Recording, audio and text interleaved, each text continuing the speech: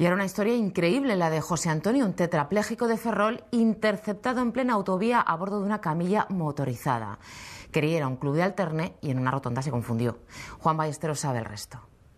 José Antonio es hoy sin duda el héroe del Centro de Discapacitados Físicos del Ferrol en el que vive.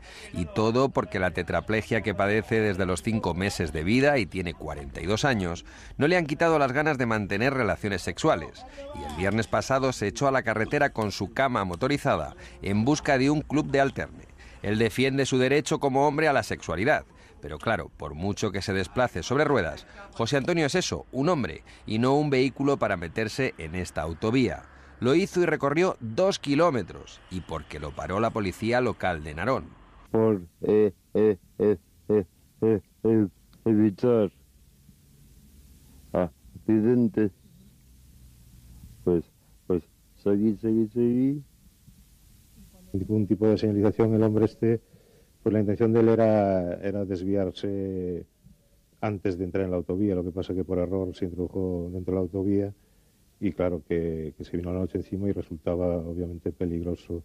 El error se produjo porque las dichosas obras habían cambiado el aspecto de la zona respecto a la última vez que José Antonio había ido al puticlub, hace tres años.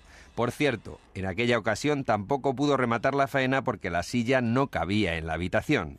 Se considera una persona normal, que tiene ganas de sexo y no un salido, por mucho que sus compañeros se tomen su peripecia a guasa. No,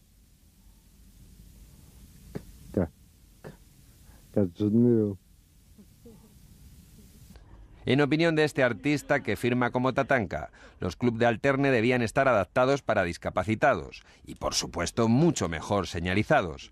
Pero a él lo que le gustaría de verdad es encontrar una novia, morena y de rasgos indios. Pero añade que sus circunstancias físicas lo limitan a buscar sexo a cambio de dinero.